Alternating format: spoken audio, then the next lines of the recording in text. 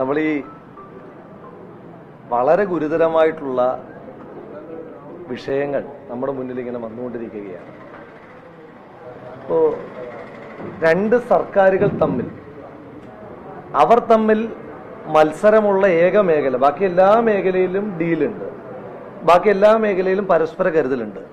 അവർ തമ്മിൽ മത്സരമുള്ള ഏക മേഖല എന്ന് പറയുന്നത് എങ്ങനെയൊക്കെ ജനങ്ങളെ ദ്രോഹിക്കാം ഉപദ്രവിക്കാം എന്നതിനെ പറ്റി മാത്രമാണ്. ഇപ്പൊ പാലക്കാട് നമ്മൾ ഈ തെരഞ്ഞെടുപ്പുമായിട്ട് മുന്നോട്ട് പോകുമ്പോൾ ഈ ദിവസങ്ങളിൽ കേൾക്കുന്ന വാർത്തകൾ എത്രമാത്രം വേദനാജനകമാണ്. ഇപ്പോ നമ്മുടെ പത്തനംതിട്ട ജില്ലക്കാരൻ എന്റെ നാട്ടുകാരനാണ് എ ഡി എം നവീൻ. അപ്പൊ അദ്ദേഹത്തിന്റെ കൊലപാതകം അങ്ങനെ തന്നെ വിശേഷിപ്പിക്കാനാണ് ഞാൻ ആഗ്രഹിക്കുന്നത്. അദ്ദേഹത്തിന്റെ കൊലപാതകവുമായി ബന്ധപ്പെട്ട് ഒരു മനുഷ്യനെ അവരോട് ആഭിമുഖ്യമുള്ള സി പി എമ്മിനോട് ആഭിമുഖ്യമുള്ള ഒരു മനുഷ്യനെ പച്ച ജീവനെ കൊന്നിട്ട് അതിന്റെ ഉത്തരവാദികളായ ആളുകളെ സംരക്ഷിക്കാൻ വേണ്ടിയിട്ട് എത്ര ബോധപൂർവമായ ശ്രമങ്ങളാണ് സംസ്ഥാന സർക്കാർ ചെയ്തുകൊണ്ടിരിക്കുന്നത്. ഇപ്പൊ കേരള പോലീസിനെ പരിഹസിക്കുകയാണ് ഗവൺമെന്റ്. ഇപ്പൊ കേരള പോലീസിനെ കൊണ്ട് ശ്രീമതി പി പി ദിവ്യയെ അറസ്റ്റ് ചെയ്യാൻ കഴിയാത്ത സാഹചര്യമൊന്നുമില്ല. ഒളിവിലാണെന്ന് റിപ്പോർട്ട് കൊടുക്കേണ്ടി വരുന്ന സാഹചര്യമില്ല അവരെ കണ്ടെത്താൻ വളരെ എളുപ്പത്തിൽ പറ്റുന്ന സംവിധാനം കേരള പോലീസിനുണ്ട്. എന്നാൽ കേരള പോലീസിനെ അപമാനിക്കാൻ വേണ്ടി ഓ ആ ഫോഴ്സിലുള്ള ആളുകളെ അപമാനിക്കാൻ വേണ്ടി അവർ കാര്യപ്രാപ്തി ഇല്ലാത്തവരാണെന്ന് അവതരിപ്പിക്കാൻ വേണ്ടി അവരെ കാണുവാനില്ല. അവരെ കണ്ടുകിട്ടാനില്ല. ഒരു ജില്ലാ പഞ്ചായത്ത് പ്രസിഡന്റായിരുന്ന സി പി എമ്മിന് ഉന്നതയായ നേതാവാണ്. കാണുവാനില്ല എന്ന് പറഞ്ഞ് റിപ്പോർട്ട് കൊടുക്കുന്ന സാഹചര്യം അടക്കം ഗുരുതരമായ പ്രശ്നങ്ങൾ. ഇന്ന് ഈ മാധ്യമ സമ്മേളനം വിളിക്കാനായിട്ടുള്ള പ്രധാനപ്പെട്ട കാരണങ്ങളിലൊന്ന് അതാണ്. നവീന്റെ കൊലപാതകവുമായി ബന്ധപ്പെട്ട് ആ കുടുംബത്തിന് അദ്ദേഹത്തിന്റെ ബന്ധുക്കളോട് സംസാരിച്ചത്. ആ ബന്ധുക്കൾക്ക് നിങ്ങളും അവരോട് സംസാരിക്കണം. അവർക്ക് ഗൗരവതരമായ കൺസേൺസും സംശയങ്ങളും. ആ സംശയങ്ങളും കൺസേൺസും ദൂരീകരിക്കേണ്ടെന്ന ബാധ്യത സംസ്ഥാന സർക്കാരിനുള്ളതാണ്. അതടക്കമുള്ള വിഷയം പിന്നെ നമ്മുടെ പാലക്കാട്. ഓരോ വീടുകളിൽ ചെല്ലുമ്പോൾ നെൽകർഷകരായിട്ടുള്ള ആളുകൾ വീടുകളിൽ ചെല്ലുമ്പോൾ വീടിന്റെ ഇറയത്ത് ചാക്കിൽ ഇങ്ങനെ നെല്ല് കെട്ടിവെച്ചിരിക്കുകയാണ്. ഇത് എപ്പോൾ സംഭരിക്കാൻ കഴിയും?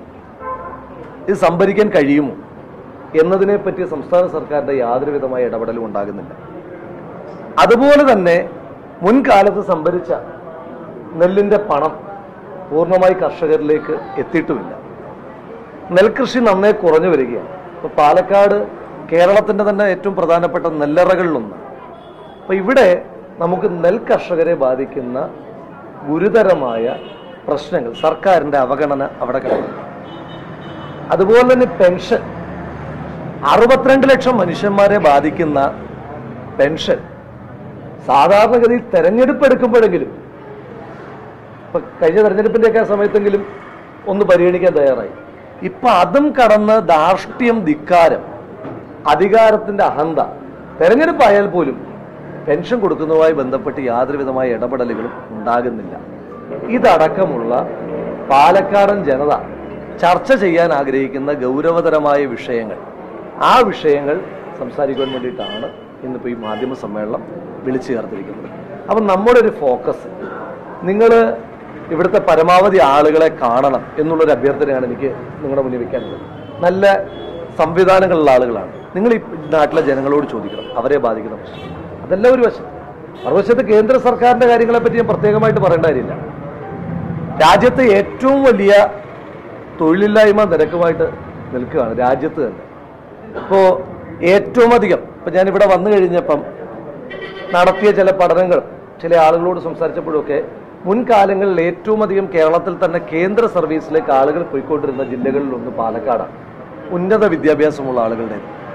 എന്നാൽ ഇന്നിപ്പം ഈ തെരഞ്ഞെടുപ്പ് എടുക്കുമ്പോൾ നമ്മൾ നേരിടുന്ന ഒരു പ്രധാനപ്പെട്ട വെല്ലുവിളി എന്താണെന്നറിയോ? സെൻട്രൽ ട്രാവൻകൂറിൽ മാത്രമുള്ള ഒരു പ്രതിഭാസമാണെന്ന് ഞാൻ വിചാരിച്ചിരുന്നത്. പാലക്കാട്ട് യങ്സ്റ്റേഴ്സ് വളരെ കുറവാണ്. കാരണം യങ്സ്റ്റേഴ്സൊക്കെ അവർ മെച്ചപ്പെട്ട ജോലി തേടി ബാംഗ്ലൂരിലേക്കും ചെന്നൈയിലേക്കും വിദേശത്തേക്കും. ഇന്ത്യയിലെ പ്രധാനപ്പെട്ട രണ്ട് സിറ്റി ചെന്നൈയും ബാംഗ്ലൂരും ആണ് അവർ ഡിപ്പെൻഡ് ചെയ്യുന്നത്. ഇന്ത്യയ്ക്ക് പുറത്തേക്കും വലിയ തോതിൽ പോയിക്കൊണ്ടിരിക്കുകയാണ്. വീടുകളിൽ പലപ്പോഴും ഏജ്ഡ് ആയിട്ടുള്ള ആളുകൾ മാത്രമേ ഉള്ളൂ ചെറുപ്പക്കാരില്ല. അപ്പോഴും അവർക്ക് അവരുടെ ആകെ കൺസേൺ രാജ്യത്ത് വർഗീയത നന്നായി നിലനിൽക്കണം എന്നുള്ളത് മാത്രമാണ്. അപ്പൊ ഇത്തരത്തിൽ ഗൗരവതരമായ ചില വിഷയങ്ങൾ നിങ്ങളുടെ ഒരു നിങ്ങളുടെ ഒരു ഫോക്കസ് നമ്മുടെ ഒരു ഫോക്കസ് മാറിപ്പോകുന്നുണ്ടോ എന്നുള്ളൊരു സംശയം ഒരു ആശങ്ക ഒരു തെരഞ്ഞെടുപ്പാണല്ലോ. ഒരു തെരഞ്ഞെടുപ്പാകുമ്പോൾ നിങ്ങൾ എല്ലാ വിഷയങ്ങളെയും ഓഡിറ്റ് ചെയ്യണം. പക്ഷേ കേന്ദ്ര സംസ്ഥാന സർക്കാർ ഒരുക്കുന്ന ഒരു ട്രാപ്പിന്റെ ഭാഗമായി നിരന്തരമായി നമ്മളും നിങ്ങളും കോർ ഫോക്കസിൽ നിന്ന് മാറിപ്പോകുന്നു എന്ന് ഞങ്ങൾ വീട് കയറുമ്പോൾ ജനങ്ങൾക്ക് അഭിപ്രായം. അതൊന്ന് ദൂരീകരിക്കാനായിട്ടുള്ള ഒരു ശ്രമം നിങ്ങളുടെ ഭാഗത്തു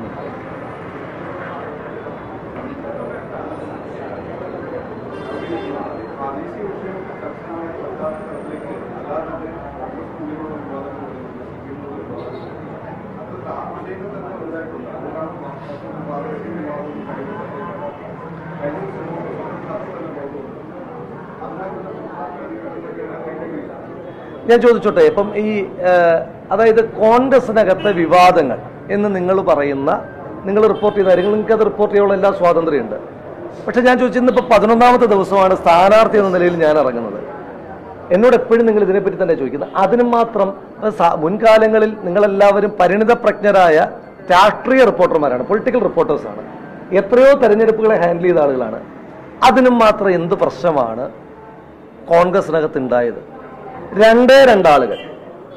രണ്ടേ രണ്ടാളുകൾ നടത്തിയ മാധ്യമ സമ്മേളനങ്ങളല്ലാതെ.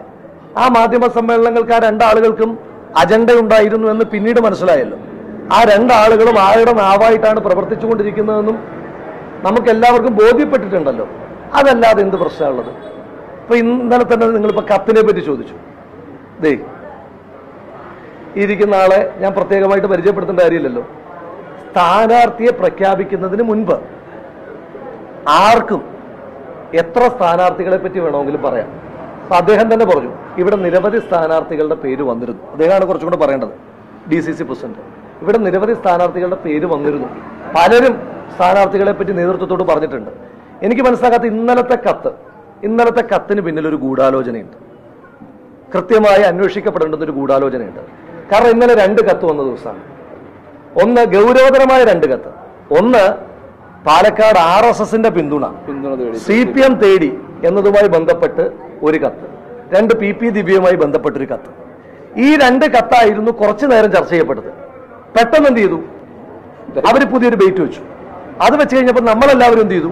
അപ്പൊ നിങ്ങളുടെ ചോദ്യം ഇതിലേക്ക് മാറി ഞങ്ങളുടെ മറുപടി ഇതിലേക്ക് മാറി. അപ്പൊ എന്താ സംഭവിച്ചത്? അതിന്റെ അഡ്വാന്റേജ് ആർക്കാ?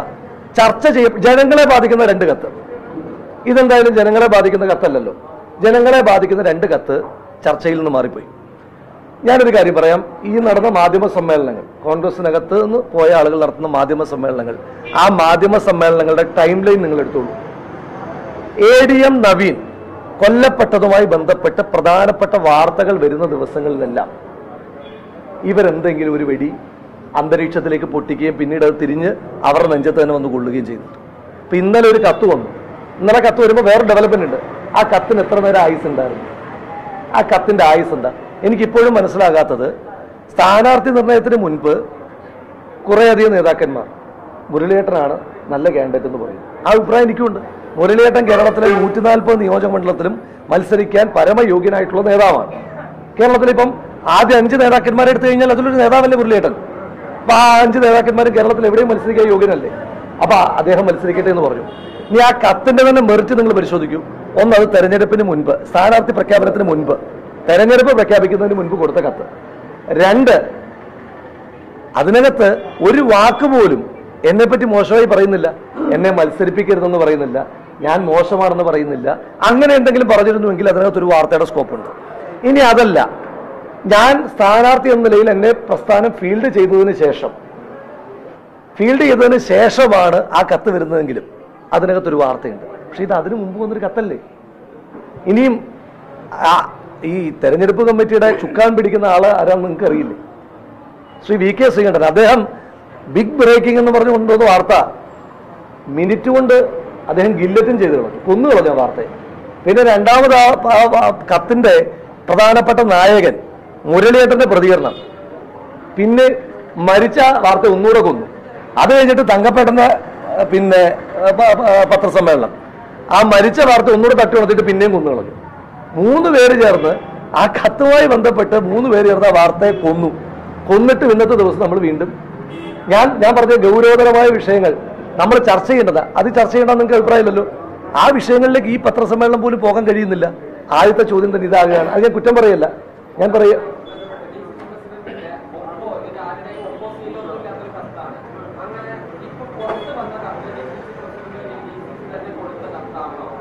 ഡി സി സി പ്രസിഡന്റ് തന്നെ കൊടുത്ത കത്താണെന്ന് വിചാരിച്ചു. അതാണല്ലോ അതിന്റെ maximum D C C president നേതാക്കന്മാരും കൊടുത്ത കത്താണെന്ന് തന്നെ വിചാരിച്ചു. ആണെങ്കിൽ എന്താ കുഴപ്പം? ഇപ്പൊ എന്നോട് ചോദിക്കുകയാണ് ചേലക്കരയിൽ ആര് മത്സരിക്കണം? ഇപ്പൊ പാലക്കാട്ട് ഞാനല്ലാണ്ട് ആര് മത്സരിക്കണം എന്ന് ചോദിച്ചാൽ എനിക്കൊരു അഭിപ്രായമില്ലേ? വയനാട്ടിൽ ശ്രീമതി പ്രിയങ്ക ഗാന്ധി അല്ല മത്സരിക്കുന്നെങ്കിൽ ആര് മത്സരിക്കണമെന്ന് എനിക്കൊരു അഭിപ്രായമില്ലേ? ആ അഭിപ്രായം ചന്ദ്രേട്ടൻ ഉണ്ടാകും അഭിപ്രായം തങ്കപ്പേട്ടൻ ഉണ്ടാകും. ആ അഭിപ്രായം ഉണ്ട് ഈ പാർട്ടിയുടെ പ്രത്യേകത ഞാൻ പറയാം. അപ്പുറത്തുനിന്നൊക്കെ ആരെങ്കിലും പിടിച്ചുകൊണ്ട് ഇങ്ങോട്ട് വന്നിട്ട് ഇതാണ് ഇങ്ങോട്ട് നിങ്ങളുടെ സ്ഥാനാർത്ഥി. സ്വീകരിച്ചോണമെന്ന് പറഞ്ഞു കഴിഞ്ഞാൽ മിണ്ടാണ്ടിരുന്നിട്ട് പിന്നെ ഇടയിൽ കൂടെ പണി കൊടുക്കുന്ന ഏർപ്പാടൊന്നും ഇതിനകത്തില്ല. അപ്പം തന്നെ സംസാരിക്കും. അപ്പം തന്നെ പറയും. അത് അവസാനം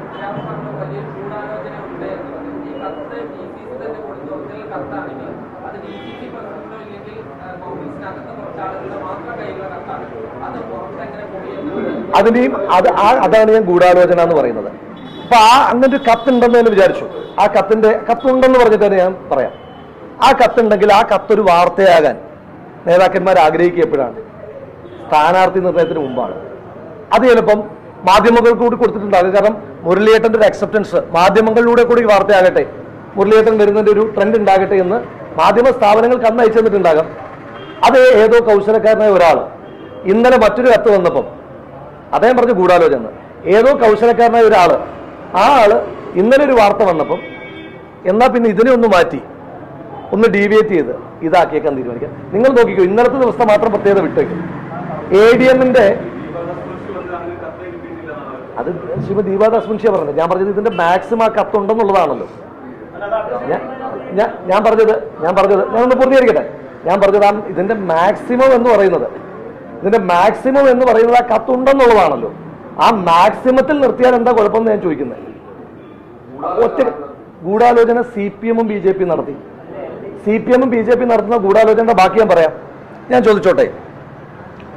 വയനാടിന് ഞാൻ വയനാട്ടിൽ ദുരിതാശ്വാസ പ്രവർത്തനവുമായിട്ട് ബന്ധപ്പെട്ട് നിങ്ങൾക്ക് എല്ലാവർക്കും അറിയുന്ന പോലെ ഞാനും യൂത്ത് കോൺഗ്രസും വളരെ സജീവമായി പ്രവർത്തിച്ചതാണ്. വയനാടിന് മതിയായ കേന്ദ്ര സഹായം കിട്ടിയിട്ടില്ല. മതിയായെന്നല്ല കേന്ദ്ര സഹായം കിട്ടിയിട്ടേ ഇല്ല. തെരഞ്ഞെടുപ്പിന്റെ വേളയല്ലേ? സി പി എമ്മിന്റെ സ്ഥാനാർത്ഥിയോ സി പി എം അതൊന്ന് ചർച്ചയാക്കുന്നുണ്ടോ? ചർച്ചയാക്കുന്നുണ്ടോ? ഇനി പോട്ടെ. ബി ജെ പിക്ക് എതിരായിട്ട് മത്സരിക്കുന്നതാണല്ലോ സി പി എം പറയുന്നേ. തിരിച്ച് പിന്നെ സി പി എമ്മിനകത്ത് ഏതെങ്കിലും ഒരു കാര്യം. പോട്ടെ എ ഡി എമ്മിന്റെ കൊലപാതകം. എ ഡി എമ്മിന്റെ കൊലപാതകം. ബി ജെ പി കാര്യമായിട്ട് അതിനകത്ത് കമന്റ് ചെയ്യുന്നുണ്ടോ? ഇല്ല നെക്സസ് ആണ്. ഇനി അടുത്തും കൂടെ പറഞ്ഞുതരാം. ഉദാഹരണങ്ങൾ പറഞ്ഞുതരാം. ഇവർ നെക്സസ് ആണെന്ന്. മൂന്ന് രാഹുലുമാരാണല്ലോ ഈ തെരഞ്ഞെടുപ്പിൽ മത്സരിക്കുന്നത്. ഒന്ന് ഞാൻ. മറ്റ് രണ്ട് സുഹൃത്തുക്കൾ കൂടി മത്സരിക്കുന്നു. ആർക്കും മത്സരിക്കാനുള്ള സ്വാതന്ത്ര്യമുണ്ട്. നിങ്ങൾ ആ മറ്റ് രണ്ട് രാഹുലുമാരുടെ പശ്ചാത്തലം ഒന്നെടുത്ത് പഠിക്കണമെന്നും പാലക്കാട്ടെ മാധ്യമ സുഹൃത്തുക്കളോട് ഞാൻ അപേക്ഷിക്കുകയാണ്. ആ രണ്ട് രാഹുലുമാരുടെ പ്രത്യേകത ഒരു രാഹുൽ ബി ജെ പി ആണ് അല്ലേ? ഒരു രാഹുൽ സി പി എം ആണ്. ശരി അപ്പൊ അങ്ങനെ രണ്ട് അപരന്മാരെ നിർത്തുന്നതിന്റെ ഉദ്ദേശം എന്താണ്? ഞാനാണ് എന്ന തെറ്റിദ്ധാരണയിൽ കുറച്ച് വോട്ടുകൾ ഒന്ന് ഒന്ന് ഭിന്നിച്ച് പോയിക്കോട്ടെ എന്ന് കരുതിയിട്ടല്ലേ? ശരി അത് ബി ജെ പി ജയിക്കാൻ വേണ്ടി ബി ജെ പി ചെയ്യുന്നതാകാം സി പി എം ജയിക്കാൻ വേണ്ടി സി പി എം ചെയ്യുന്നതാകാം. പക്ഷെ കോൺഗ്രസ് മാത്രമല്ലല്ലോ ഇവിടെ മത്സരിക്കുന്നത്. ബി ജെ പി എന്റെ പേരിനോട് സാമ്യമുള്ള മറ്റൊരു രാഹുലിനെ നിർത്തി. എന്തുകൊണ്ടാണ് ബി ജെ പിക്ക് ഒരു ഇടതുപക്ഷ അപരൻ സ്ഥാനാർത്ഥിയുടെ പേരിനോട് സാമ്യമുള്ള അവരെ നിർത്താൻ തോന്നാഞ്ഞത്? അപ്പോൾ ഇടതുപക്ഷ സ്ഥാനാർത്ഥി തോക്കണമെന്ന് അവർക്ക് താല്പര്യമില്ല. ഇനി തിരിച്ച് ഇടതുപക്ഷം സി പി എം ഒരു രാഹുലിനെ നിർത്തിയല്ലോ. സി പി എമ്മിന് എന്തുകൊണ്ടാണ് മറ്റൊരു ബി ജെ പി സ്ഥാനാർത്ഥിയുടെ പേരിനോട് സാമ്യമുള്ള ഒരു പേരുകാരനെ നിർത്താൻ തോന്നാഞ്ഞത്? ജനം ഇതൊക്കെ വിലയിരുത്തുന്നുണ്ട്. ഒന്ന് ഒന്ന് പൂർത്തീകരിച്ചിട്ട് ഒന്ന് പൂർത്തീകരിച്ചിട്ട് അങ്ങനെ എല്ലാ ചോദ്യത്തിനും മറുപടി പറയാം. ജനം ഇത് വിലയിരുത്തുന്നുണ്ട്. ഇനി രണ്ട് പാർട്ടിക്കകത്തെ ഈ പറയുന്ന പാർട്ടി ഇന്നലത്തെ കത്തിനെ പറ്റി ബി ജെ പി ആഞ്ഞടിക്കുന്നു സി പി എം ആഞ്ഞടിക്കുന്നു സ്ഥാനാർത്ഥികൾ ആഞ്ഞടിക്കുന്നു. സി പി എമ്മിനകത്ത് ഒരു പ്രശ്നം ഉണ്ടായി ഒരു ദിവസം. അതിന്റെ യഥാർത്ഥ രക്തസാക്ഷികളാണ് എന്റെ മുന്നിലിരിക്കുന്ന മാധ്യമ സുഹൃത്തുക്കൾ.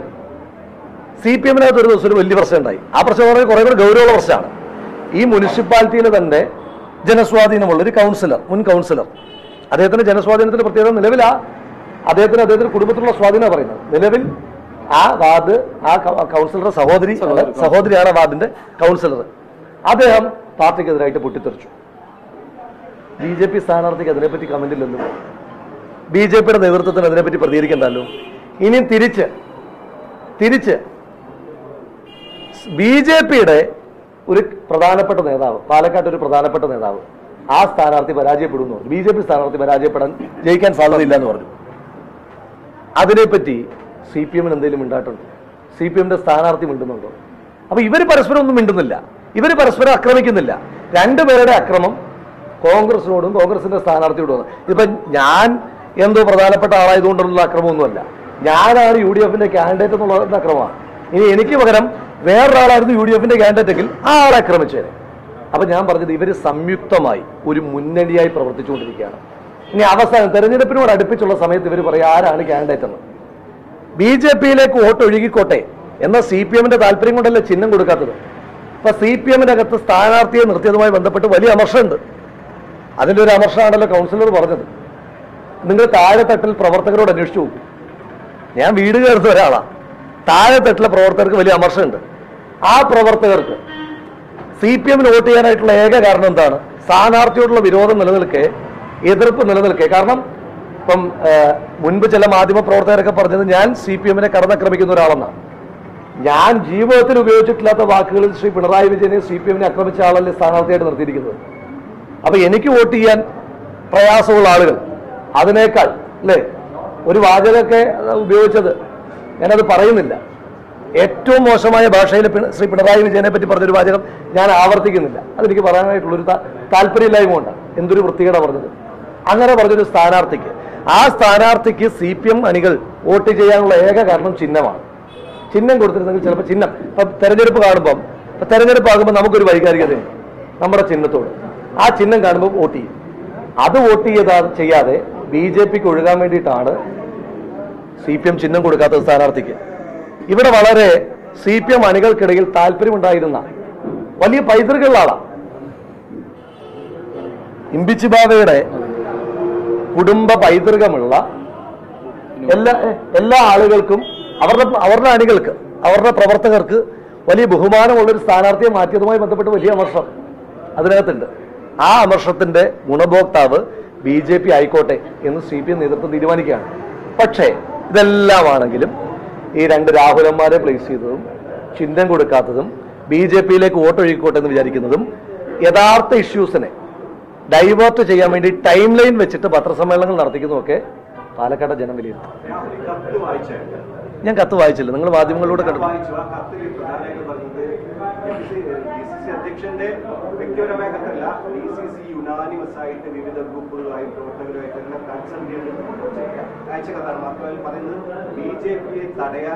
ഇവിടെ മുരളീധരൻ വരണമെന്ന് അപ്പോ അങ്ങനെ ഒരു കത്തുണ്ടായിട്ടും ഡി സി സിയുടെ മൊത്തം താല്പര്യം ഇതായിട്ടും ഇതല്ലാതെ തീരുമാനം ഏത് സാഹചര്യത്തിലാണ് മാറിയെന്ന് രാഹുൽ വിശ്വസിക്കുന്നു. ഡി സി സി പ്രസിഡന്റ് തന്നെ പറഞ്ഞിട്ടുണ്ട് ഇവിടെ പല പേരുകൾ പലരായി പറഞ്ഞിട്ടുണ്ട്. എന്ന് ഡി സി സി പ്രസിഡന്റ് അല്ലേ പറഞ്ഞേ?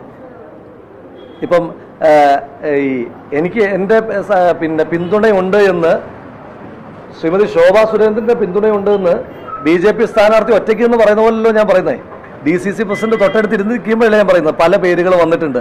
അല്ല ഞാൻ പറയട്ടെ. അല്ല ഞാൻ പറഞ്ഞോട്ടെ. തെരഞ്ഞെടുപ്പിന് മുമ്പ് ഞാൻ ചോദിക്കുന്ന അത് ഇന്നൊരു പ്രസക്തമാകുന്ന വിഷയമാകുന്ന എങ്ങനെയാണെന്ന് ഞാൻ ചോദിക്കുന്നത്? ഇന്ന് പ്രസക്തമാകുന്ന വിഷയമാകുന്ന എങ്ങനെയാണ്? ഇന്ന് ബിനിമ അല്ല ഞാനൊന്ന് പറഞ്ഞോട്ടെ? ബി ജെ പിയുടെ ഫ്ലക്സ് വെച്ച സ്ഥാനാർത്ഥിയാണോ ഇവിടെ മത്സരിക്കുന്നത്? ആണോ? ബി ജെ പിയുടെ ഫ്ലക്സ് വെച്ചൊരു സ്ഥാനാർത്ഥി ഉണ്ടായിരുന്നല്ലോ. ആ സ്ഥാനാർത്ഥി ഇവിടെ പ്രചരണത്തിന് വരുന്നുണ്ടോ? ആ സ്ഥാനാർത്ഥി പ്രതികരിക്കുന്ന പോലും കണ്ടിട്ടില്ല. ബി ജെ പി സ്ഥാനാർത്ഥിക്ക് വേണ്ടിയിട്ട് പ്രതികരിക്കുന്ന പോലും ഞാൻ കണ്ടില്ല ശ്രീമതി ശോഭാ സുരേന്ദ്രൻ. ആ പേരുകാരനാണോ വന്നത്? അല്ല. രണ്ട് പേരുകാരിയാണോ വന്നത്? അല്ല.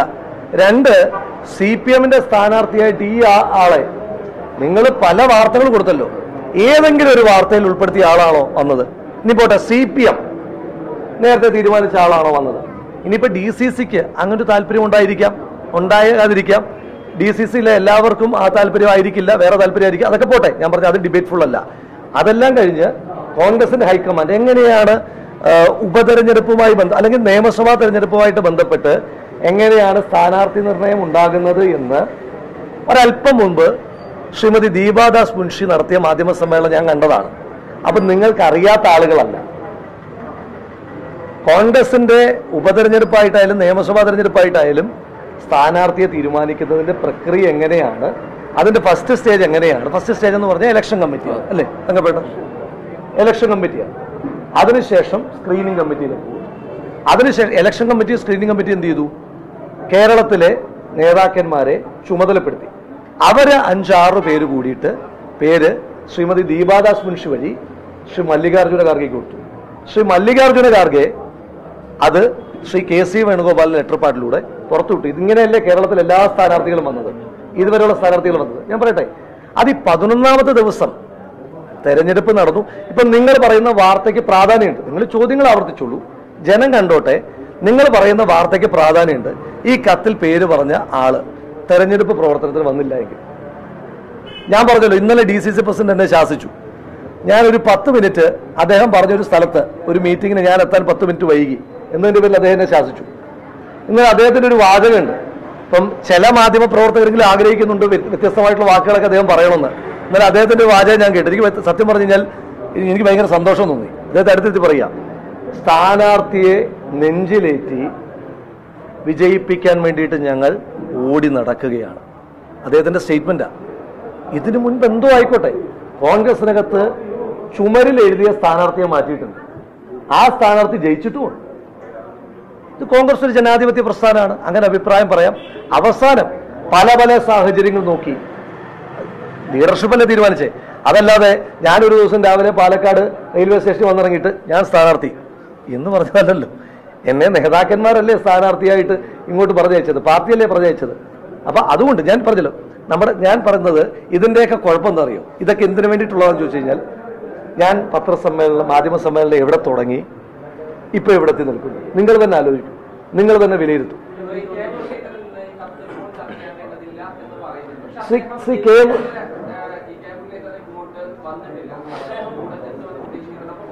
അല്ല ശ്രീ കെ മുരളീധരൻ വന്നിട്ടില്ല.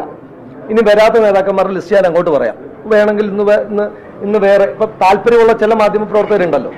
എല്ലാവരും ഞാൻ അടച്ചാക്ഷേപിക്കൊന്നുമില്ല. അജണ്ടയുള്ള ചില മാധ്യമ പ്രവർത്തകർക്ക് ഒരു കാര്യം ചെയ്യും. ഒരു വാർത്ത ഞാൻ ഒന്ന് രണ്ട് വാർത്ത പറഞ്ഞുതരാം. ശ്രീ കെ സി വേണുഗോപാൽ പാലക്കാട്ടേക്ക് ഇതുവരെ എത്തിയിട്ടില്ല. പറയട്ടെ. ശ്രീ ശശി തരൂർ ഇതുവരെ പാലക്കാട്ടേക്ക് എത്തിയിട്ടില്ല. ശ്രീ രമേശ് ചെന്നിത്തല അദ്ദേഹം ആദ്യത്തെ ദിവസം മാത്രമാണ് വന്നത്. ശ്രീ രമേശ് ചെന്നിത്തല ഇതുവരെ പാലക്കാട്ടേക്ക് വന്നിട്ടില്ല. മൂന്ന് വാർത്ത ഞാൻ പറഞ്ഞു തന്നു. പിന്നെ എന്റെ എം പി ശ്രീ ആന്റോ ആന്റണി ഇതുവരെ തെരഞ്ഞെടുപ്പ് പ്രചരണത്തിന് പാലക്കാട്ടേക്ക് എത്തിയിട്ടില്ല. അല്ല ഞാൻ പറയട്ടെ ഞാൻ പറയട്ടെ. അല്ല ഞാൻ പറയട്ടെ. പ്രധാനപ്പെട്ട ശ്രീ മുരു ശ്രീ അല്ല ഒറ്റ കാര്യം. ഒരു കാര്യം പറഞ്ഞോട്ടെ. ഞാൻ ഒരു കാര്യം.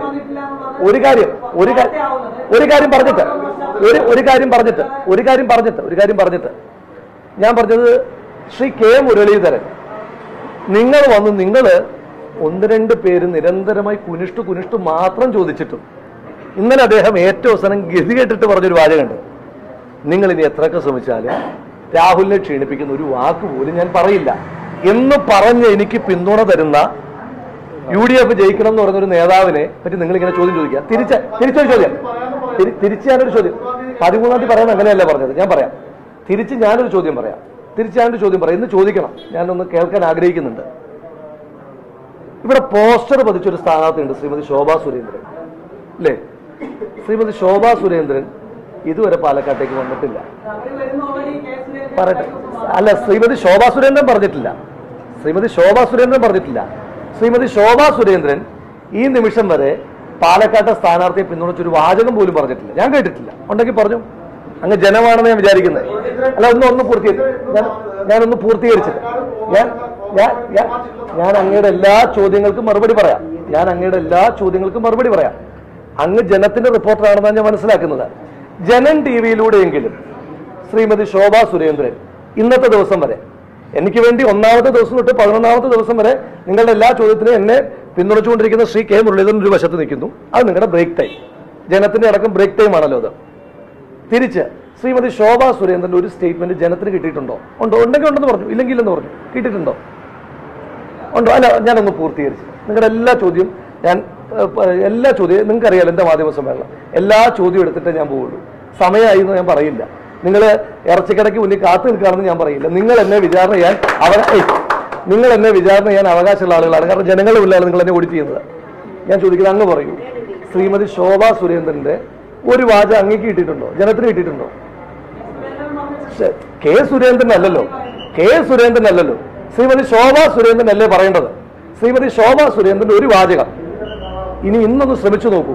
കാരണം അപ്പുറത്തെ സ്ഥാനാർത്ഥി യു ഡി എഫിന്റെ സ്ഥാനാർത്ഥി അതൊരു പ്രധാനപ്പെട്ട പ്രചരണമായിട്ട് മാറ്റുന്നുണ്ട്. പരമാവധി ഒരു സമ്മർദ്ദമൊക്കെ കൊടുത്തു നോക്കൂ. ദേശീയ നേതൃത്വത്തെ ശ്രീമതി ശോഭാ സുരേന്ദ്രൻ പാർട്ടി ഡിസിപ്ലിനുള്ള ഒരു പാർട്ടി പ്രവർത്തകയാണ്. ദേശീയ നേതൃത്വത്തെ കൊടുത്ത് സംസാരിക്കുക യു ഡി എഫിന്റെ സ്ഥാനാർത്ഥി ഇങ്ങനെ പറയുന്നുണ്ടെന്നും കൂടെ പറയണം. അങ്ങനെ പറഞ്ഞൊരു സമ്മർദ്ദം കൊടുത്താൽ ചിലപ്പോൾ നാളെ ഒരു വൈറ്റ് കിട്ടുമായിരിക്കും. പതിനൊന്ന് ദിവസത്തിനിടയിൽ ശ്രീമതി ശോഭാ സുരേന്ദ്രൻ പ്രധാനപ്പെട്ട നേതാവാണെന്നുള്ള കാര്യത്തിൽ എനിക്ക് തർക്കമില്ലല്ലോ. ഉണ്ടോ? ഉണ്ടോ? ജനത്തിന് തർക്കമുണ്ടെങ്കിൽ പറയണം. എന്റെ നോട്ടത്തിൽ ശ്രീമതി ശോഭാ സുരേന്ദ്രൻ ബി ജെ പിയുടെ പ്രധാനപ്പെട്ട നേതാവാണ്. ശ്രീമതി ശോഭാ സുരേന്ദ്രൻ ബി ജെ പിയുടെ ബി ജെ പി പ്രവർത്തകരുടെ ഒരു സ്റ്റാർ ക്യാമ്പയിനറാണ്. ഇനി തലക്കെട്ട് ശ്രീമതി ശോഭാ സുരേന്ദ്രൻ സ്റ്റാർ ക്യാമ്പയിനർ എന്ന് പറഞ്ഞ് കൊടുക്കല്ലേ? ബി ജെ പി പ്രവർത്തകരുടെ ഒരു സ്റ്റാർ ക്യാമ്പയിനറാണ് ശ്രീമതി ശോഭാ സുരേന്ദ്രൻ. ആ ശ്രീമതി ശോഭാ സുരേന്ദ്രൻ പതിനൊന്ന് ദിവസത്തിനിടയിൽ ഇവിടുത്തെ ബി ജെ പി സ്ഥാനാർത്ഥിയെ പിന്തുണച്ചൊരു വാക്കുപോലും പറഞ്ഞില്ല. അതാണ് വാർത്ത. അതല്ലാതെ പതിനൊന്ന് ദിവസവും പതിനൊന്ന് ദിവസവും പിന്തുണച്ചുകൊണ്ട് പിന്തുണച്ചുകൊണ്ട് പിന്തുണച്ചുകൊണ്ട് മാത്രം സംസാരിച്ചുകൊണ്ടിരിക്കുന്ന ശ്രീ കെ മുരളീധരനെ പറ്റിയിട്ടുള്ളതല്ല വാർത്ത. ഇവിടെ പ്രധാനപ്പെട്ട നേതാക്കന്മാർ വരാൻ പോകുന്നേ ഉള്ളൂ. മുൻ പി സി സി പ്രസിഡന്റുമാരിൽ ഇവിടെ വന്നിട്ടുള്ളത് ആരാൾ ആകെ ഹസൻ സാർ അല്ലേ ഉള്ളൂ. മുൻ പി സി സി പ്രസിഡന്റുമാരിൽ ഇവിടെ ആകെ വന്നിട്ടുള്ളത് ഹസൻ സാർ മാത്രമാണ്. ശ്രീ വി എം സുധീരൻ ഇതുവരെ എത്തിയിട്ടില്ല. ശ്രീ മുല്ലപ്പള്ളി രാമചന്ദ്രൻ ഇതുവരെ എത്തിയിട്ടില്ല. ഞാൻ പറയുന്ന നാളെ വേറെ എന്തെങ്കിലും വിവാദം വന്നു കഴിഞ്ഞാൽ കൊടുക്കാം. ഏത്? നാളെ വേറെ എന്തെങ്കിലും ഒരു സി പി എം ഡിഫൻസിലാകുന്ന ഒരു വിവാദം വന്നാൽ വി എം സുധീരൻ പാലക്കാട്ടേക്ക് തിരിഞ്ഞു നോക്കിയിട്ടില്ല എന്ന് പറഞ്ഞൊരു വാർത്ത കൊടുക്കാം. ഞാൻ അതിന് നിങ്ങളെ സഹായിക്കുകയാണ്. സത്യത്തിൽ ഞാൻ നിങ്ങളെ സഹായിക്കാം.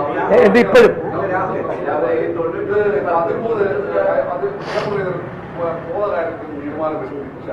തീയതി നിശ്ചയിച്ചിട്ടില്ല. തീയതി നിശ്ചയിച്ചിട്ടില്ല എന്ന് അദ്ദേഹം പറഞ്ഞു ഞാൻ ചോദിച്ചത് അദ്ദേഹം അദ്ദേഹത്തിന്റെ എല്ലാ പിന്തുണയും എനിക്കുണ്ടെന്ന് നിരന്തരമായി പറയുന്നു. എന്റെ പരാതി നിങ്ങൾ അത് വാർത്ത കൊടുത്തോളൂ. ശ്രീ കെ മുരളീധരൻ ഇതുവരെ വന്നില്ല എന്നുള്ള വാർത്ത നിങ്ങൾ കൊടുത്തോളൂ. പക്ഷെ ഇതുവരെ ഇതുവരെ ഒരൊറ്റ മാധ്യമ സ്ഥാപനം പോലും അതിനകത്ത് എന്റെ പരിഭവമാണെന്ന് കൂട്ടിക്കും. ഞാൻ ഇതുവരെ മറ്റ് പാർട്ടികൾ എന്ത് ചെയ്യുന്നു ചെയ്യുന്നില്ല. ഇന്ന് പോലും മാധ്യമ സമ്മേളനം ഞാൻ അങ്ങനെ നടത്താൻ ഉദ്ദേശിച്ച ആളല്ല. എന്റെ പരിഭവമാണെന്ന് കൂട്ടിക്കും. ഇന്നെങ്കിലും നിങ്ങളൊന്ന് കൊടുക്കാമോ? ശ്രീമതി ശോഭ സുരേന്ദ്രൻ. ഞാൻ പറയുന്ന കളവാണെങ്കിൽ നിങ്ങൾ പറഞ്ഞോളൂ. ശ്രീമതി ശോഭ സുരേന്ദ്രൻ പാലക്കാട്ടെ സ്ഥാനാർത്ഥിക്ക് പതിനൊന്ന് ദിവസമായി പിന്തുണ പ്രഖ്യാപിച്ചിട്ടില്ല. Lead news.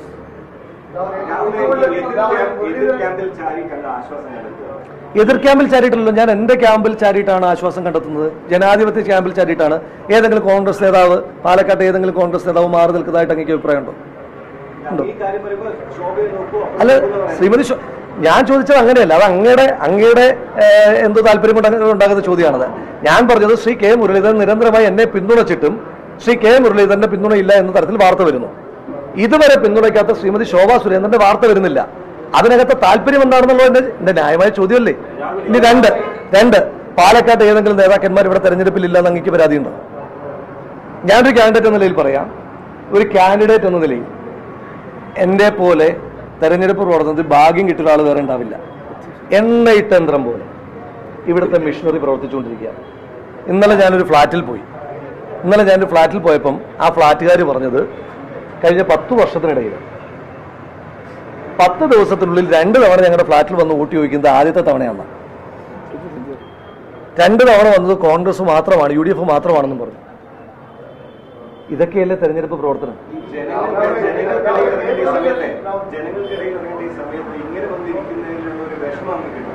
അല്ല ഞാനിത് നിങ്ങൾ പറഞ്ഞിട്ട് വന്നതല്ലേ? എന്റെ വിഷമം എനിക്ക് ഡിഫെൻഡ് എനിക്ക് ജനങ്ങളോട് ഡിഫെൻഡ് ചെയ്യേണ്ടി വരുന്നില്ല.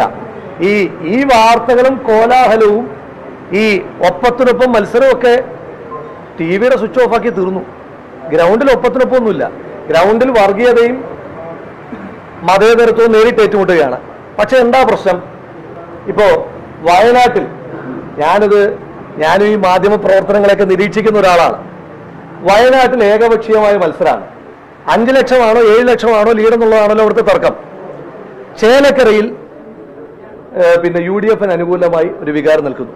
അപ്പൊ നിങ്ങൾക്ക് മൊത്തത്തിൽ നോക്കുമ്പോൾ പുതുപ്പള്ളി തെരഞ്ഞെടുപ്പ് ഇഞ്ചോടിഞ്ചാണെന്ന് റിപ്പോർട്ട് ചെയ്ത ആളുകളാണ് നിങ്ങൾ പുതുപ്പള്ളി തെരഞ്ഞെടുപ്പ്. പുതുപ്പള്ളിയിൽ ഈസി വാക്ക് ഓവറാണ് ഈസി വാക്ക് ഓവറാണെന്ന് അന്ന് ഞാനാ പറഞ്ഞുകൊണ്ടിരുന്നത് അല്ലേ? ഓർമ്മയുണ്ടാവുമല്ലോ? റോഷേറ്റിനൊക്കെ ഓർക്കുന്നുണ്ടാവും. നിരന്തരമായി ഞാൻ പറഞ്ഞു easy walkover easy walk over ഇതിന്റെ പ്രശ്നം എന്താണെന്ന് വെച്ച് കഴിഞ്ഞാൽ ഇത് നിങ്ങളെ മോശമാക്കിയല്ല.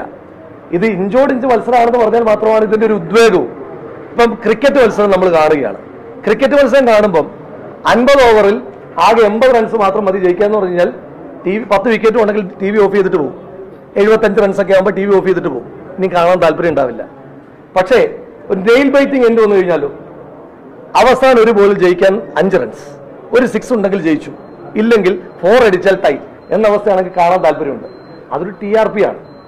അതല്ലാതെ പാലക്കാട് ഗ്രൗണ്ടിൽ പോകുന്ന ആളെന്ന നിലയിൽ ഇവിടെ വർഗീയതയും മതേതരത്വവും തമ്മിലുള്ള പ്രത്യക്ഷ മത്സരം. ആ വർഗീയത എങ്ങനെയൊക്കെ സഹായിക്കാൻ പറ്റുമെന്നുള്ള സി പി എമ്മിന്റെ പ്രത്യക്ഷമായ ശ്രമങ്ങൾ. ഇതിനപ്പുറം ഒരു മത്സരം ഇവിടെ നടക്കുന്നില്ല.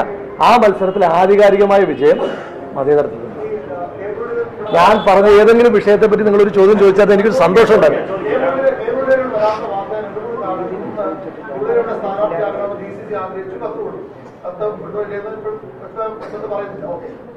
ഞാൻ അതിന്റെ ബാക്ക് സമയത്തിട്ട് മറുപടി കൊടുക്കും.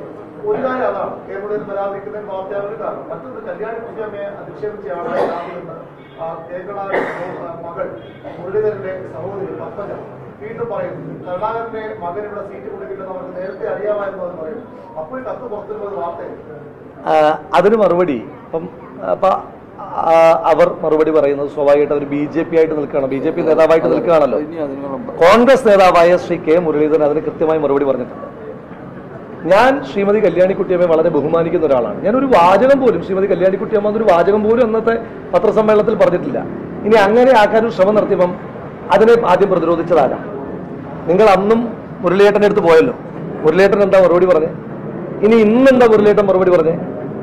അപ്പം അവരുടെ തന്നെ പ്രതികരണത്തോട് മുരളിയേട്ടൻ പറഞ്ഞത് എന്റെ അമ്മ നിരവധി ആളുകൾക്ക് വെച്ചു വിളമ്പി കോൺഗ്രസിനെ ഉണ്ടാക്കിയ ഒരു സ്ത്രീയാണ്. കോൺഗ്രസിന് ഭക്ഷണം കൊടുത്തൊരു സ്ത്രീയാണ്. തെരഞ്ഞെടുപ്പാകുമ്പോൾ എന്റെ അമ്മയെ അനാവശ്യമായി വിവാദങ്ങളിലേക്ക് വലിച്ചഴക്കണ്ട എന്ന് പറഞ്ഞു. ഞാൻ ശ്രീമതി കല്യാണിക്കുട്ടി അമ്മയെ പറ്റി. എന്റെ മുത്തശ്ശിയുടെ പ്രായമുള്ള എനിക്ക് ബഹുമാനമുള്ള ആളാണ്. അവരെ പറ്റി ഞാൻ പറഞ്ഞ ഒരു മോശമായ സ്റ്റേറ്റ്മെന്റ് ഉണ്ടോ? അതുണ്ടെന്ന് വരുത്തി തീർക്കാൻ ശ്രമം നടത്തുന്നു. പോട്ടെ. ഇനി അതിന്റെ ഗിമ്മിക്കുകളല്ലാതെ ഇപ്പൊ ഇവിടെ വലിയ ഗിമ്മിക് ഷോ അല്ലേ നടക്കുന്നത്? ഇപ്പം ആ, ഒരു സ്ഥാനാർത്ഥി ഉമ്മൻചാണ്ടി സാറിന്റെയും ഒക്കെ കല്ലറയിൽ പോകുന്നു. ലീഡറുടെയും കല്ലറയിൽ പോകുന്നു. അല്ലേ? ഞാൻ പറയുന്നത് കുറച്ച് സി പി എം നേതാക്കന്മാരും കൂടെ ഒപ്പം പോകണം. കൈകൂപ്പണം കൈകൂപ്പിയിട്ട് പറയണം. ലീഡറെ ലീഡറോട് ചെയ്തിട്ടുള്ള എല്ലാ തെറ്റുകൾക്കും സമസ്താപരാധം. ഇനി ആ സ്ഥാനാർത്ഥി പറയണം. ലീഡറുടെ പ്രസ്ഥാനത്തെ വഞ്ചിച്ച് അപ്പുറത്ത് പോയതിന് സമസ്താപരാധം. ഉമ്മൻചാണ്ടി സാറിന്റെ മുന്നിൽ പോയിട്ട് പറയണം. ഉമ്മൻചാണ്ടി സാറിനെ ഉമ്മൻചാണ്ടി സാറിന്റെ കുടുംബത്തെ അവഹേളിച്ചതിന് സമസ്താപരാധം. ഇനി അതല്ല അതൊരു ഷോ അല്ല എങ്കിൽ സി പി എം നടത്തുന്ന ഷോ സ്ഥാനാർത്ഥിയുടെ ഷോ ഞാൻ പറയുന്നില്ല അങ്ങനെ വാർത്തയാക്കരുത്. ഹെഡ്ലൈനും കൊടുക്കരുത്. സി പി എം നടത്തുന്ന പൊളിറ്റിക്കൽ ഗിമ്മിക്ക് അല്ലെങ്കിൽ ഞാൻ ചോദിച്ചോട്ടെ ആത്മാർത്ഥമായി ശരി. മുതിർന്ന നേതാക്കന്മാരെ കാണുന്നത് ഒരു രീതിയാണ്. അനുഗ്രഹം വാങ്ങുന്ന ഒരു രീതിയാണെങ്കിൽ. അപ്പൊ ശ്രീ ഇ എം എസ് നമ്പൂതിരിപ്പാടിന് ഒരു പ്രസക്തി സി പി എം കൊടുക്കുന്നില്ല?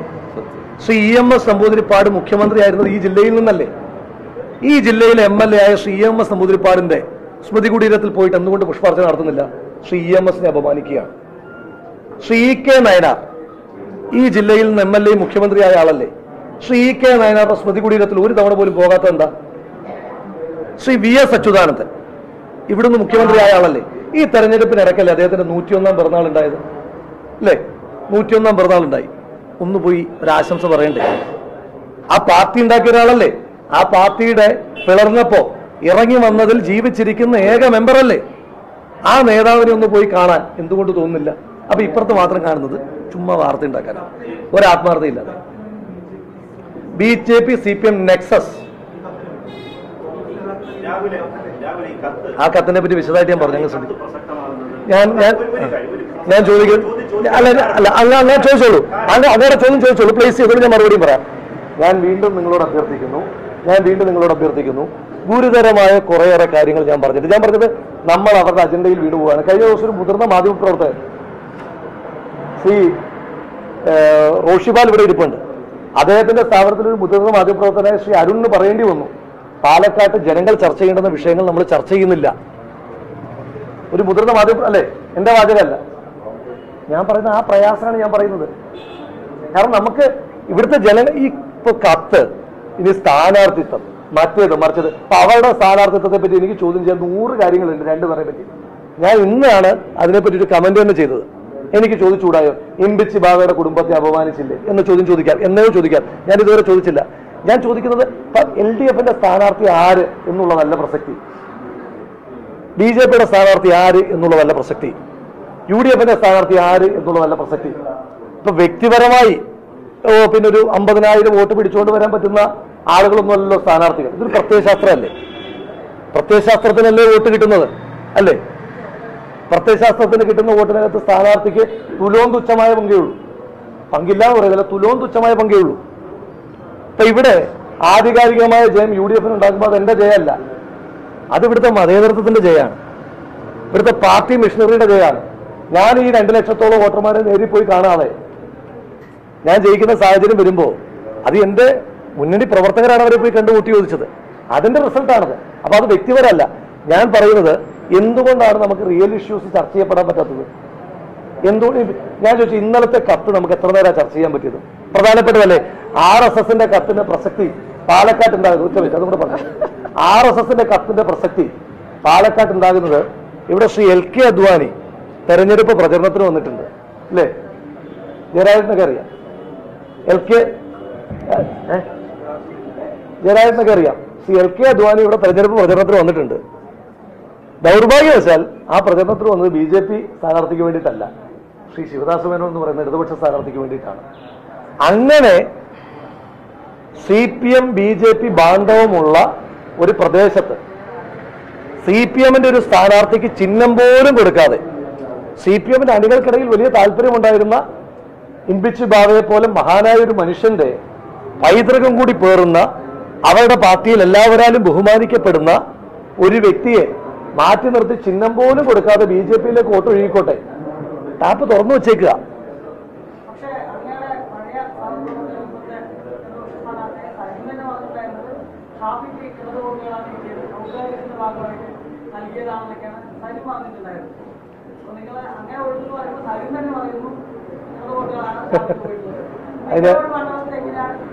അതിന് അതിന് അതിന് മറ്റേ ജില്ലാ സെക്രട്ടറി മറുപടി പറഞ്ഞിട്ട് പറഞ്ഞൊരു കാര്യം. അങ്ങനെ അവരൊന്നും പറയുന്നതല്ല മറുപടി. അവരൊന്നും പറയുന്നതല്ല പാർട്ടിയുടെ സ്റ്റാൻഡ്. പാർട്ടിയുടെ സ്റ്റാൻഡ് പറയേണ്ടത് പാർട്ടിയുടെ സ്റ്റാൻഡ് പറയേണ്ടത് ഞാനാണ്.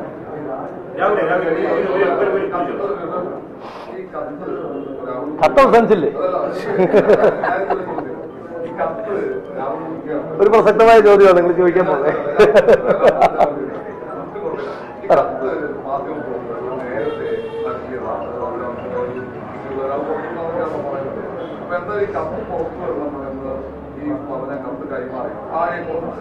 അത് തീർച്ചയായിട്ടും താല്പര്യം ഉണ്ടാകും റോഷേട്ടാ അല്ല അതിനകത്ത് അതിനകത്ത് ഒന്നതൊരു അല്ല അത് അതിനകത്തൊരു താല്പര്യം ആ കത്ത് കൊടുക്കുമ്പം മുരളിയേട്ടൻ വരണം എന്നുള്ളൊരു താല്പര്യമാണല്ലോ.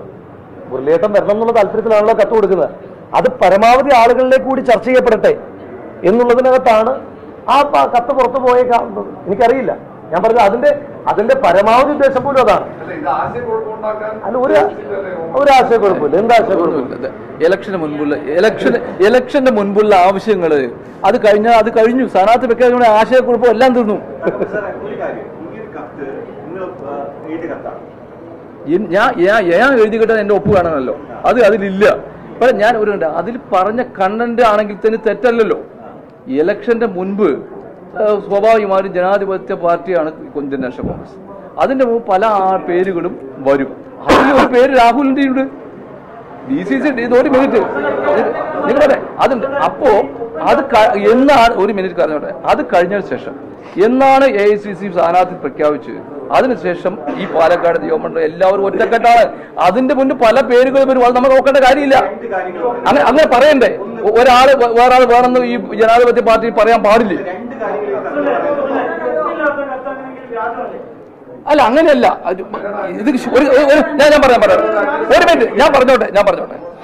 തെരഞ്ഞെടുപ്പ് സ്ഥാനാർത്ഥി പ്രഖ്യാപിക്കുന്നതിന് മുൻപ് പല പേരുകളും പല ലെറ്ററുകളും പല ആളുകളുടെയും പേര് വന്നിട്ടുണ്ട്.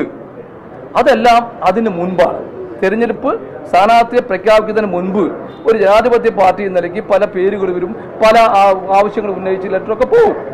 പക്ഷെ സ്ഥാനാർത്ഥി പ്രഖ്യാപിച്ചു കഴിഞ്ഞപ്പോൾ ഇവിടുത്തെ യു ഡി എഫും കോൺഗ്രസും ഒറ്റക്കെട്ടായി ഇവർ നിൽക്കുന്നുണ്ട്. അത് കഴിഞ്ഞാൽ പിന്നെ അതിന് ആ- ലെറ്റർ പ്രസക്തിയില്ല അല്ല ഞാനൊരു കാര്യം ചോദിച്ചോട്ടെ? ഞാനൊരു കാര്യം ചോദിച്ചോട്ടെ? ഇപ്പോഴും നിങ്ങൾക്ക് ഇന്നെങ്കിലും നിങ്ങൾ ഞാൻ എനിക്ക് നിങ്ങൾ ഒരു ഞാനങ്ങനെ നിങ്ങളുടെ വാർത്ത അല്ല ഒരുപാട് നീട്ടിക്കൊണ്ട് പോകല്ലേ എനിക്ക് ഒരു പ്രധാനപ്പെട്ട ദിവസമാണ് ഞായറാഴ്ചയാണ് പ്രധാനപ്പെട്ട ദിവസമാണ്. വീണ്ടും കാണാം. അത് കുഴപ്പമില്ല. പക്ഷെ ഞാൻ ഞാൻ പറഞ്ഞൊരു വിഷയമായിട്ട് ബന്ധപ്പെട്ട് നിങ്ങൾക്ക് ഒരു ചോദ്യമില്ല പാലക്കാട്ടെ നെൽകർഷക ഞാൻ ഒറ്റ ഒറ്റ കാര്യം ഒറ്റ കാര്യം ഒറ്റ- കാര്യം ഒറ്റ കാര്യം ഒറ്റ കാര്യം ഒറ്റ കാര്യം. ഞാൻ പറഞ്ഞത് ഇന്നെങ്കിലും നിങ്ങൾ ശ്രീമതി ശോഭാ സുരേന്ദ്രന്റെ വാർത്തയാക്കാം അത് പ്രതീക്ഷിക്കാമല്ലോ വാർത്തയായി. ഇന്നെങ്കിലും ഇന്ന് തൊട്ട് ശ്രീമതി ശോഭാ സുരേന്ദ്രൻ വരുന്ന ദിവസം വരെ വരുമല്ലോ എനിക്കറിയില്ല ശ്രീമതി ശോഭാ സുരേന്ദ്രൻ വരുന്ന ദിവസം വരെയെങ്കിലും എന്നോട് ചോദിച്ചതുപോലെ എന്നോട് നിങ്ങൾ നാളെ ചോദിച്ചു എനിക്ക് പരാതിയൊന്നുമില്ല. പക്ഷേ ഞാൻ എന്റെ പ്രയാസം പറയുന്നത് നിങ്ങൾക്ക് വിഷമമില്ലല്ലോ. എന്നോട് എന്നോട് ജനങ്ങളുടെ പ്രശ്നം ചോദിക്കുന്നില്ല എന്ന് ഞാൻ പ്രയാസം പറയുന്നതിനകത്ത് നിങ്ങൾക്ക് ബുദ്ധിമുട്ടൊന്നുമില്ലല്ലോ. ഞാൻ എന്റെ പ്രയാസം പറയുന്നു. പക്ഷേ സ്ഥാനാർത്ഥി വരുന്ന ശ്രീമതി ശോഭാ സുരേന്ദ്രൻ വരുന്ന ദിവസം വരെ നിങ്ങൾ ആ ചോദ്യം ഇങ്ങനെ ചോദിച്ചുകൊണ്ടിരിക്കണം. മറ്റേ ശ്രീ ഇ എം എസിന്റെയും ശ്രീ ഇ കെ നായനാരുടെയും ശ്രുതി കുടീരത്തിൽ പോകുന്നത് വരെ ശ്രീ വി എസിനെ തിരുവനന്തപുരത്ത് പോയി കാണുന്നത് വരെ ആ ചോദ്യം അവിടെയും ചോദിച്ചുകൊണ്ടിരിക്കണം. പിന്നെ ഞാൻ ചോദിക്കുന്നത് നെൽകർഷകരുടെ പ്രശ്നം. നിങ്ങൾ ഞാൻ പറയുന്നത് നിങ്ങൾ ഇതിനു മുമ്പ് ഇതിനു മുമ്പ് ഞാൻ ഞാൻ പറയുന്നത് ഞാൻ- നിങ്ങളെ മാധ്യമ പ്രവർത്തനത്തിന്റെ ഒരു ക്ലാസ്സും പഠിപ്പിക്കാനില്ല. ഞാൻ പറഞ്ഞത് നമ്മൾ ഇതുവരെ റിപ്പോർട്ട് ചെയ്തുകൊണ്ടിരുന്ന വാർത്തയാണ്. നെൽകർഷകരുടെ പ്രശ്നം. നെൽകർഷകരുടെ പ്രശ്നം. ഇതിന്റെ പ്രശ്നം എന്താ ഇതിന്റെ പ്രശ്നം എന്താണെന്ന് അറിയാവോ ഇതിന്റെ പ്രശ്നം തെരഞ്ഞെടുപ്പ് ആകുമ്പോഴെങ്കിലും ഒരു സർക്കാരിൽ നിന്ന് ജനത്തിന് കിട്ടേണ്ടുന്ന ആനുകൂല്യം നിഷേധിക്കപ്പെടുകയാണ്. നിങ്ങൾ കണ്ണാടിയിൽ പിരായിരിയിൽ മുനിസിപ്പാലിറ്റിയിൽ മാത്തൂരിൽ നെൽകർഷകരെ പോയി കാണണം. ഇപ്പൊ കോൺഗ്രസ്സുകാരായ നെൽകർഷകർ പോലും ഇപ്പൊ കഴിഞ്ഞ ദിവസം പോയപ്പോ ഞാനൊരു വാർത്ത അങ്ങോട്ട് പറഞ്ഞുതരാം. ഒരു കോൺഗ്രസ്സുകാരനെ നെൽകർഷകൻ ചെന്നിട്ട് എന്നോട് പ്രതിഷേധിച്ചു. എന്നോട് പ്രതിഷേധിച്ചു. നിങ്ങൾ വാർത്ത കൊടുത്തു. ഒരു കോൺഗ്രസ്സുകാരനെ നെൽകർഷകൻ എന്നോട് പ്രതിഷേധിച്ചിട്ട് പറഞ്ഞു. പ്രയാസമുണ്ടെന്ന് പറഞ്ഞു. കാരണം പുള്ളി എന്നോട് പറഞ്ഞത് രാഹുൽ കാൻഡിഡേറ്റ് ആയിട്ട് വന്നിട്ട് ഇതുവരെ നെൽകർഷകരെ പറ്റി സംസാരിച്ചു എന്ന് ചോദിച്ചു. ഞാൻ പറഞ്ഞു ചേട്ടാ ഞാൻ എല്ലാ ദിവസവും നെൽകർഷകരെ പറ്റി പറയുന്നുണ്ട്. പക്ഷേ എന്റെ സുഹൃത്തുക്കളായ മാധ്യമപ്രവർത്തകർക്ക് പതിര് മാത്രം മതി. നെല്ല് വേണ്ട. എനിക്ക് എന്ത് ചെയ്യാൻ പറ്റും? ഞാൻ അവരോട് ചോദിച്ചു ഞാൻ അദ്ദേഹത്തോട് ചോദിച്ചു. അപ്പൊ അതുകൊണ്ട് നെൽകർഷകരുടെ പ്രശ്നം. പെൻഷൻ നമ്മൾ ചർച്ചയാക്കിയ കഴിഞ്ഞ തവണ നമ്മൾ നമ്മളിങ്ങനെ ചർച്ചയാക്കിയത് കൊണ്ട് എന്താ ഗുണമുണ്ടായെന്ന് വെച്ച് കഴിഞ്ഞാൽ എട്ട് മാസം കുടിശ്ശിക ഉണ്ടായിരുന്ന പെൻഷൻ രണ്ട് മാസമെങ്കിലും തെരഞ്ഞെടുപ്പ് സ്റ്റണ്ടിന്റെ ഭാഗമായിട്ട് കൊടുത്തു. പക്ഷെ ജനം ഇപ്പൊ പ്രബുദ്ധരായതുകൊണ്ട് എന്ത് ചെയ്തു? പതിനെട്ട് പൂജ്യമായിരുന്നു. പതിനെട്ട് ഒന്ന് ഒന്ന് അല്ലെ? പതിനെട്ട് ഒന്ന് ഒന്ന്. ഇത്തവണ മൂന്ന് പൂജ്യമാണ്. എന്നാലും വേണ്ടില്ല അറുപത്തിരണ്ട് ലക്ഷം മനുഷ്യന്മാർക്ക് നമ്മുടെ ഈ തെരഞ്ഞെടുപ്പിന്റെ പേരിലെങ്കിലും അവർക്ക് രണ്ട് മാസത്തെ പെൻഷൻ കിട്ടിയാൽ അവർ ആറ് മാസത്തെ കുടിശ്ശിക മാറും. നിങ്ങൾ K S R T C ജീവനക്കാരുടെ അവസ്ഥ. കഴിഞ്ഞ ദിവസം ഒരു K S R T C ജീവനക്കാരൻ ഹൃദയാഘാതം വന്ന് മരിച്ചു. നിങ്ങൾ എത്ര പേര് റിപ്പോർട്ട് ചെയ്തു എന്ന് എനിക്കറിയില്ല. ഹൃദയാഘാതം വന്ന് മരിച്ചു. കാരണം കെ എസ് ആർ ടി സിയിൽ ഇപ്പൊ ശമ്പളം എല്ലാ മാസവും ഒന്നാം തീയതി കൊടുക്കുന്നില്ല. ഇതിന് കുഴപ്പം ഇപ്പൊ നിങ്ങൾ നിങ്ങളുടെ കാര്യം ആലോചിച്ച് നോക്കൂ. നിങ്ങളിപ്പോ ഒന്നാം തീയതി ശമ്പളം കിട്ടും. ചേട്ടൻ ഒന്നാം തീയതി ശമ്പളം കിട്ടുമെന്ന് പ്രതീക്ഷിച്ചിട്ട് എത്ര ലോൺ ഉണ്ട് അല്ലേ ലോണില്ലേ? അങ്ങ് കൈരളിയുടെ റിപ്പോർട്ടറാണ് ബഹുമാനത്തോടെ പറയാണ് അങ്ങേക്ക് ഒന്നാം തീയതി ശമ്പളം കിട്ടുമെന്നുള്ള പ്രതീക്ഷയിൽ അങ്ങേക്ക് ലോണുണ്ട് പക്ഷെ അത് ഒന്നാം തീയതി കിട്ടാതെ പതിനഞ്ചാം തീയതി കിട്ടുമ്പോൾ എന്താ സംഭവിക്കുന്നത്? ഈ ലോണിന്റെ റീപേയ്മെന്റ് മുടങ്ങും. പതിനഞ്ചാം തീയതി പൂർണമായിട്ട് കിട്ടുന്നില്ല. പതിനഞ്ചാം തീയതി പകുതി കിട്ടുന്നു ഇരുപത്തിനാലാം തീയതി ബാക്കി കിട്ടുന്നത്. കൈരളി ബാക്കി ഇരുപത്തിനാലാം തീയതി അങ്ങേക്ക് തരുമെന്ന് വിചാരിക്കുക. അങ്ങയുടെ ഒരു മാസത്തെ ഫാമിലി ബഡ്ജറ്റ് താളം തെറ്റുകയാണ്. ഇത് ആരുടെയെങ്കിലും കയ്യിൽ കടമാണ്. ഇത് തിരിച്ചടയ്ക്കാൻ പറ്റാതെയായി പോകും. അങ്ങനൊരു ഒരു ഒരു K S R T C ഒരു ചെറുപ്പക്കാരൻ നാൽപ്പത്തിയൊന്ന് വയസ്സേ ഉള്ളൂ. നമ്മൾ ഒന്ന് ഒന്ന് പറഞ്ഞു ഒന്ന് പറഞ്ഞുതരാം ഒന്ന് പറഞ്ഞുതരാം. നാൽപ്പത്തിയൊന്ന് വയസ്സ്. നാൽപ്പത്തിയൊന്ന് വയസ്സുള്ള ഒരു ചെറുപ്പക്കാരൻ. ആ ചെറുപ്പക്കാരൻ മരണപ്പെട്ടു. ആ ഹൃദയസ്തംഭനം വന്ന് മരണപ്പെട്ടു. കഴിഞ്ഞ ദിവസം കെ എസ് ആർ ടി സിയിലെ ഒരു സംഘടനയുടെ പരിപാടിക്ക് പോയപ്പം അവർ എന്നോട് പറഞ്ഞത് കഴിഞ്ഞ എട്ട് വർഷത്തിനിടയിൽ എനിക്ക് ഞാൻ ചോദിച്ചു അതിശയോക്തിയാണോ ചോദിച്ചു. ആറായിരം K S R T C ജീവനക്കാരും പെൻഷനേഴ്സുമാണ് മരണപ്പെട്ടത്. കുറേയേറെ ആത്മഹത്യകളുണ്ടായി. കുറേയേറെ ആളുകൾ ഹൃദയാഘാതം വന്ന് മരിച്ചു. കാരണം ഫാമിലി ബഡ്ജറ്റിന്റെ താളം തെറ്റാണ്. ഞാൻ പറയുന്നത് നിങ്ങളുടെ എല്ലാ ചോദ്യങ്ങളും ഞാൻ ചോദ്യം നിങ്ങൾ പറയുന്നതും നിങ്ങൾക്ക് ഇഷ്ടമുള്ള മറുപടി മാത്രം നിങ്ങൾ ഇപ്പം ഞാൻ കഴിഞ്ഞ ദിവസങ്ങളിലൊക്കെ ഞാൻ പറയുന്നൊന്നും ആയിരിക്കില്ല തലക്കെട്ട്. ഇപ്പം കഴിഞ്ഞ ദിവസം ഞാൻ കൃത്യമായിട്ട് പറഞ്ഞു ഞാനൊരു ഫ്ലാറ്റ് വാടകയ്ക്ക് എടുത്തു. ഞാൻ നോക്കുമ്പോൾ മെയിൻ ന്യൂസ് രാഹുൽ മാങ്കൂട്ടത്തിൽ പാലക്കാട്ട് ഫ്ലാറ്റ് വാങ്ങി.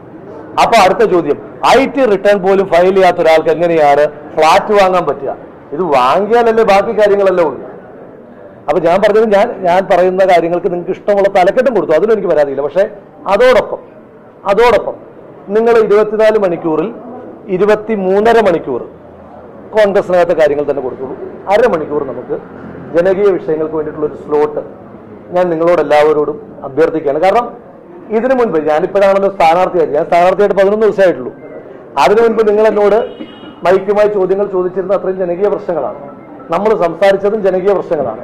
നമ്മൾ ഞങ്ങൾ സമരം ചെയ്തതും നിങ്ങൾ റിപ്പോർട്ട് ചെയ്തതും ജനകീയ പ്രശ്നങ്ങളാണ്. അത് കോൺഗ്രസിനകത്ത് ഇനി കോൺഗ്രസിനകത്ത് ഒന്ന് രണ്ട് ഭിന്നത ഉണ്ടെന്ന് തന്നെ വിചാരിച്ചു. ആ ഭിന്നത സി പി എമ്മിലുണ്ട് ബി ജെ പിയിലുണ്ട് പോട്ടെ. അത് ജനത്തിന്റെ പ്രശ്നമാണോ? കോൺഗ്രസിനകത്തെ ഭിന്നത ഉണ്ടെന്ന് തന്നെ കൂട്ടിക്കും. ഉണ്ടെന്ന് കൂട്ടിക്കും. ഇല്ല എങ്കിൽ ഉണ്ടെന്ന് കൂട്ടിക്കും. കട്ട് ചെയ്തിട്ട് കൊടുക്കല്ലേ? അപ്പോ ഉണ്ടെന്ന് കൂട്ടിക്കും. അത് കേരളത്തിൽ അറുപത്തിരണ്ട് ലക്ഷം മനുഷ്യന്മാരെ ബാധിക്കുന്ന വിഷയമാണ് അപ്പൊ അതുകൊണ്ട് നമുക്ക് അത്തരം കാര്യങ്ങൾ കൂടി ഫോക്കസ് ചെയ്യാം ലാസ്റ്റ് ചോദ്യം ആയിക്കോട്ടെ ലാസ്റ്റ് ചോദ്യം ആയിക്കോട്ടെ ഇതിന്റെ ഇത്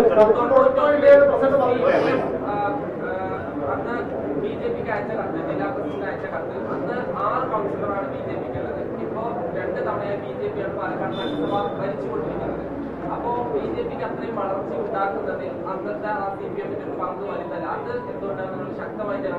ഞങ്ങൾ പറയുന്നുണ്ടല്ലോ. ഞാൻ ഇന്ന് രാവിലെ ഇന്ന് രാവിലെ കണ്ടപ്പോഴും പറഞ്ഞത് ഇത് തന്നെയല്ലേ? മുഴുവൻ മാധ്യമ സുഹൃത്തുക്കളുടെയും ബൈറ്റുന്നുണ്ട് കൈരളി മാത്രം വരുന്നില്ല കേട്ടോ. അതൊന്ന് ഞാൻ ഒരു പരാതിയായിട്ട് പറഞ്ഞു എന്ന് പറഞ്ഞു കൈരളി മാത്രം എന്റെ അടുത്തേക്ക് തീരെയും വരുന്നില്ല. ബാക്കി എല്ലാ മാധ്യമ പ്രവർത്തകരും വരുന്നുണ്ട്. കൈരളി തീരെയും വരുന്നില്ല. അതിൽ എന്റെ ഒരു എന്റെ ഒരു ഒരു ഇത് പറയാം. ഏഹ് അപ്പൊ ഞാൻ പറഞ്ഞത് ഞാൻ പറഞ്ഞത് അപ്പൊ ഞാൻ രാവിലെ എല്ലാവരോടും പാലക്കാട് മുനിസിപ്പാലിറ്റി ഞാൻ പറഞ്ഞു ഇന്നലത്തെ തന്നെ കത്തിന്റെ. ഇനി C P M B J P എന്ന് പറഞ്ഞാൽ നെക്സസ് ആദ്യമായിട്ടല്ല ഞാൻ അതിന്റെ ചരിത്രത്തിലേക്കൊന്നും പോകുന്നില്ല. നിങ്ങളത് കൊടുക്കാത്തതുകൊണ്ട് വെറുതെ എന്റെ സമയം കളയലായതുകൊണ്ട് ഞാൻ പറയുന്നില്ല. V D Savarkar V D Savarkar കേരളത്തിൽ ഏതെങ്കിലും ആർ എസ് എസ് അല്ലാതെ ആർക്കെങ്കിലും വേണ്ടി വോട്ട് അഭ്യർത്ഥിച്ചിട്ടുണ്ടെങ്കിൽ സി പി എമ്മിന് വേണ്ടിയിട്ടാണ്. അന്നത്തെ കമ്മ്യൂണിസ്റ്റ് പാർട്ടിക്ക് വേണ്ടിയിട്ടാണ്. അല്ലേ? വി ഡി സവർക്കറുടെ പുസ്തകം എടുത്തു നോക്കൂ. ഇനി അതുകൊണ്ടുള്ള പശ്ചാത്തലം ഞാൻ അതിലേക്ക് പോകുന്നില്ല. നിങ്ങൾ കൊടുക്കുക നല്ല ഡിബേറ്റിൽ പങ്കെടുക്കുന്ന ആളാണ്. ഡിബേറ്റ് പോലെ വാർത്താ സമ്മേളനമാക്കി നമ്മൾ കൊണ്ടുപോകും. അതൊന്ന് മുഖവരെ പറയാം. എന്നെ പറ്റി ഞാൻ വാർത്ത പറയാം. എന്നെ പറ്റി നല്ലത് പറഞ്ഞ കൈരളി മാധ്യമപ്രവർത്തകൻ ഒന്ന് കൊടുത്തേക്കണേ. രാവിലെ നല്ല ഡിബേറ്റർ ആണെന്ന് ഞാൻ അംഗീകരിക്കുന്നത് പറ. അല്ല, നല്ലത് പറ, പറ. എന്റെ ഒരു ചോദ്യം. ഇവിടെ ഈ ഈ വാർത്താ സമ്മേളനത്തിൽ ഈ കത്തിന്റെ വിവാദം പ്രസക്തമാകുന്നത് എന്തുകൊണ്ടെന്ന് ചോദിച്ചാൽ ഐകകണ്ഠേനയാണ് യു ഡി എഫ് സ്ഥാനാർത്ഥി നിശ്ചയിച്ചത് എന്ന പ്രഖ്യാപനമാണ് നേതാക്കളെല്ലാം നടത്തിയത്. പുറത്തു വന്ന സരിനും ഈ ഷാരിഖും നടത്തിയത് കെട്ടിയിറങ്ങിയ സ്ഥാനാർത്ഥിയാണ് ഡി സി സിന്റെ പോലും അഭിപ്രായം തേടിയില്ല. അവർ പറഞ്ഞ മാനിച്ചില്ല എന്നതാണ്. അത് തെളിയിക്കുന്നതാണ് കത്ത്. ആ കത്ത് എന്ന സ്വാഭാവിക വാർത്തയാവും. അത് അതൊരു വാർത്തയല്ല. ഇത് അങ്ങനെ ഒരു എതിരഭിപ്രായം ഉണ്ടായി എന്ന കാര്യം അംഗീകരിക്കട്ടെ. ഇനിയെങ്കിലും ഏറ്റവും ചുരുങ്ങിയത് ഏറ്റവും ചുരുങ്ങിയത് നിങ്ങൾ കെട്ടിയിറക്കെന്ന് പറയുന്നുണ്ട്. നിങ്ങൾ കഴിഞ്ഞ ദിവസം ഇപ്പൊ ഞാൻ ഇതിനകത്തൊരു കുഴപ്പം. ഇപ്പൊ കെട്ടിയിറക്കിയതല്ല. കഴിഞ്ഞ ദിവസം നിങ്ങളുടെ ഒരു ഒരു മാധ്യമ സ്ഥാപനം എന്നെ പറ്റി പറഞ്ഞത്. പെട്ടിയെടുപ്പുകാരൻ ഒരു മാധ്യമ സ്ഥാപനം തന്നെ പറഞ്ഞു. അപ്പൊ ഞാൻ അതിന് മറുപടി എങ്ങനെയാ പറയേണ്ടത്? എന്റെ ട്രാക്കാണ് പറയേണ്ടത്. അതൊരു അല്പത്തരമാകും എന്നുള്ളത് കൊണ്ടാണ് പറയാത്തത്. എങ്കിൽ പോലും ഞാൻ നിങ്ങളോട് പറയാം. നിങ്ങളിങ്ങനെ നിരന്തരമായി ചോദിക്കുന്നുണ്ട്. ഞാൻ ഈ പാർട്ടിയിൽ വഹിച്ചിട്ടില്ലാത്ത ഭാരവാഹിത്വങ്ങൾ ഈ പ്രായത്തിനിടയിൽ ഒരു കമ്മിറ്റിയില്ല. ഞാൻ ബൂത്ത് കോൺഗ്രസ് കമ്മിറ്റിയുടെ ഭാരവാഹിയാണ് ഞാൻ മണ്ഡലം യൂത്ത് കോൺഗ്രസ് കമ്മിറ്റിയുടെ ഭാരവാഹിയായിരുന്നു. ഞാൻ അസംബ്ലി കെ എസ് യു കമ്മിറ്റിയുടെ ഭാരവാഹിയായിരുന്നു. പ്രസിഡന്റായിരുന്നു ഞാൻ ജില്ലാ കെ എസ് യു കമ്മിറ്റിയുടെ ജനറൽ സെക്രട്ടറി ആയിരുന്നു. ഞാൻ ജില്ലാ കെ എസ് യു കമ്മിറ്റിയുടെ പ്രസിഡന്റ് ആയിരുന്നു. ഞാൻ സംസ്ഥാന കെ എസ് യു കമ്മിറ്റിയുടെ ജനറൽ സെക്രട്ടറി ആയിരുന്നു. ഞാൻ ദേശീയ എൻ എസ് യു കമ്മിറ്റിയുടെ ജനറൽ സെക്രട്ടറി ആയിരുന്നു. ഞാൻ യൂത്ത് കോൺഗ്രസ് സംസ്ഥാന കമ്മിറ്റിയുടെ ജനറൽ സെക്രട്ടറി ആയിരുന്നു. ഞാൻ യൂത്ത് കോൺഗ്രസിന്റെ സംസ്ഥാന പ്രസിഡന്റാണ് ഞാൻ കെ പി സി സി എന്റെ ജില്ലയിലെ ഏറ്റവും പ്രായം കുറഞ്ഞ കെ പി സി സി മെമ്പറാണ്.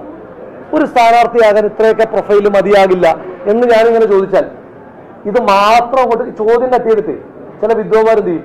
അല്പനായ സ്ഥാനാർത്ഥി എന്ന് പറയും. അതുകൊണ്ടാണ് ഞാൻ ഇത് മറുപടി പറയാത്തത് ഇനി രണ്ട്. ഞാൻ പറയാൻ വന്നത് ഞാൻ ഇതുകൂടെ പറഞ്ഞിട്ട് അവസാനിപ്പിക്കാം. ഞാനത് വേറെ ഒന്നുകൊണ്ട് നമുക്ക് വീണ്ടും എപ്പോൾ വേണമെങ്കിൽ കാണാം. എന്റെ ഇനിയിപ്പം അല്ലെങ്കിലുള്ള കുഴപ്പം എന്തറിയോ? നിങ്ങൾക്കൊരു നല്ല ന്യൂസ് കിട്ടും. സ്ഥാനാർത്ഥിയെ പരസ്യമായി ശാസിച്ച് ഡി സി സി പ്രസിഡന്റ്. രണ്ട് മൂന്ന് തവണ ഇപ്പം എന്നെ നോണ്ടി. അല്ല ഞാൻ പറയാം എതിരെ. ഇനി എന്തെല്ലാമാണെന്ന് പറഞ്ഞാൽ ഞാൻ മൈൻഡപ്പ് ചെയ്യാണ്. എന്തെല്ലാമാണെന്ന് പറഞ്ഞാലും കോൺഗ്രസ് എന്തെല്ലാം എന്തെല്ലാമാണെന്ന് പറഞ്ഞാലും കോൺഗ്രസ് മത്സരിപ്പിച്ചത് കൈരളിയുടെ മാന്യനായ ബഹുമാന്യനായ റിപ്പോർട്ടറോട് ഞാൻ പറയുന്നു. കോൺഗ്രസ് മത്സരിപ്പിച്ചത് ഏറ്റവും ചുരുങ്ങിയത് ഒരു കോൺഗ്രസ്സുകാരനെയാണല്ലോ I to I news for truth news subscribe ചെയ്തിട്ടില്ലാത്തവർ ഇപ്പോൾ തന്നെ സബ്സ്ക്രൈബ് ചെയ്യുക. നോട്ടിഫിക്കേഷൻ ലഭിക്കുവാൻ ബെൽ ബട്ടണും അമർത്തുക.